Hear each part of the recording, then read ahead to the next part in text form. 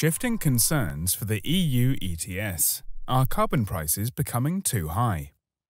In 2005, the European Union set up an emissions trading system. From that year onwards, big energy-intensive firms in the EU buy, trade and save emissions allowances that permit them to emit CO2, the major greenhouse gas. The system turned out not to be very effective. By the end of 2017, prices were below 10 euros per tonne of CO2, and experts agreed that such prices are insufficient to engage in serious emission reduction activities. Concerned citizens and experts worried that the emission trading system had turned out a failure. Then, in 2018, prices picked up. They started a steady upwards climb and by January 2022 got close to 100 euros. Something dramatic had happened. Should we now be concerned that prices may become too high, raising costs enough to drive energy-intensive firms out of business?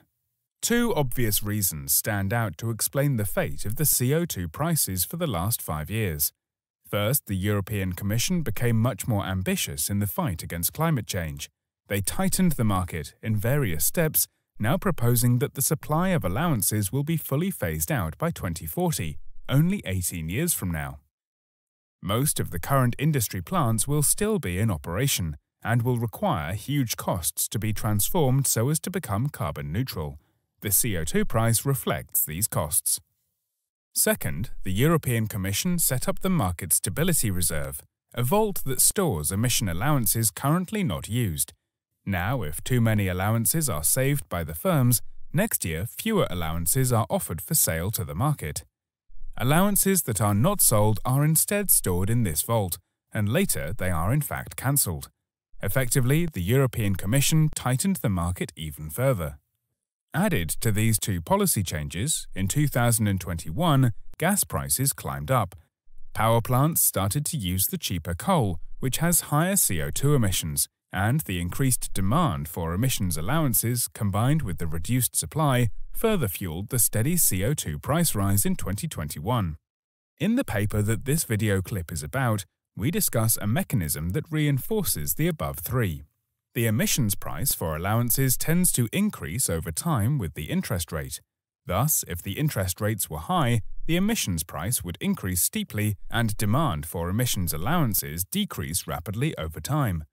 However, interest rates are currently very low, and hence the emissions price becomes flatter over time.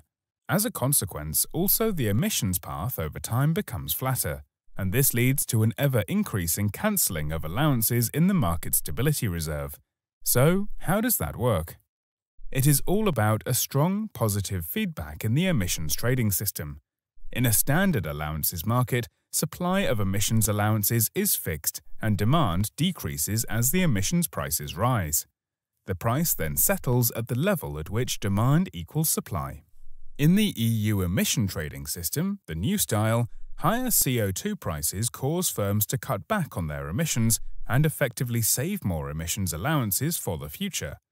In turn, more allowances enter the vault, that is the Market Stability Reserve, and are cancelled. Thus, supply of emissions allowances also decreases with the price. The price is no longer determined by overall supply and demand, but by some boundary conditions, the boundary condition is that the ETS forces the companies to become carbon neutral in 2040.